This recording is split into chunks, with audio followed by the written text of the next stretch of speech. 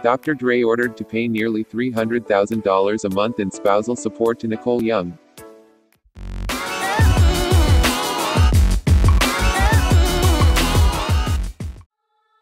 Hello guys and welcome to Hyped TV.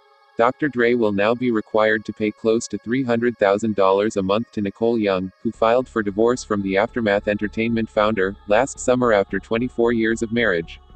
As seen in court documents obtained by Complex magazine, Dre has been ordered to pay spousal support in the amount of $293,306 per month starting in August, and continuing in a like manner, until the party receiving support remarries, or enters into a new domestic partnership, death of either party, or until further order of the court. Dre must also maintain health insurance and related costs, as well as pay the expenses for multiple properties.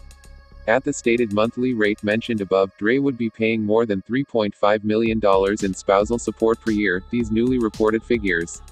However, could also theoretically be a part of a temporary arrangement that will hold until a new deal is reached, in other words, this could precede a more definitive agreement, such as a settlement. This latest development, which was previously reported on Wednesday by The Blast and others, means orders regarding Young's security that were previously issued will also remain in full force and effect. In June, TMZ broke the news that both Dr. Dre and Nicole Young were officially single, legally speaking, but the debate over financial matters would continue. As previously reported, a frequently cited point of contention was an alleged prenuptial agreement. Amid the split, Young has alleged that Dre held a gun to her head on two separate occasions and hit her in the face. Dre again per TMZ responded by filing legal documents arguing that the allegations were false.